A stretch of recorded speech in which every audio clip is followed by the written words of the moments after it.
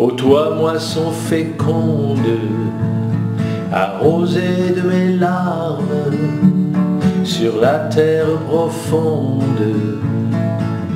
tes épis sont des âmes. Emporte mes prières, par lesquelles j'implore notre Père sur la terre,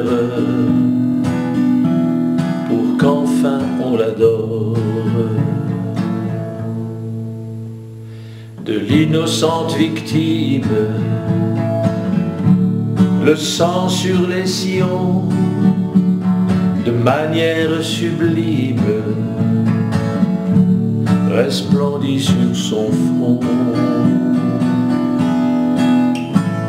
Vainqueur redoutable et sauveur de nos âmes, jamais rien ne l'accable. Et roi il se proclame.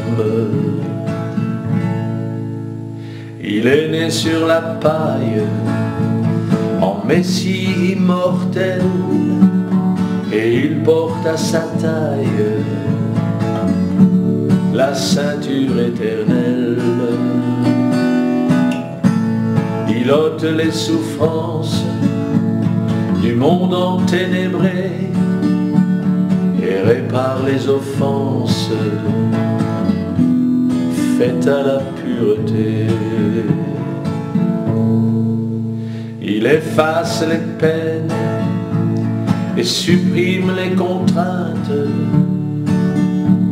Il rend la vie sereine et éponge nos craintes.